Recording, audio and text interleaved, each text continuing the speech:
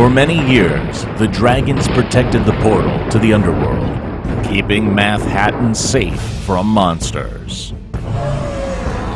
But one dragon broke the alliance, causing a great war between the Dragon Leagues.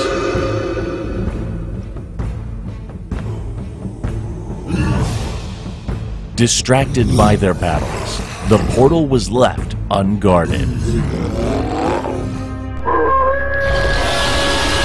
Monsters are coming through the portal, destroying Manhattan. You have been summoned by the Elder Dragon to assist him.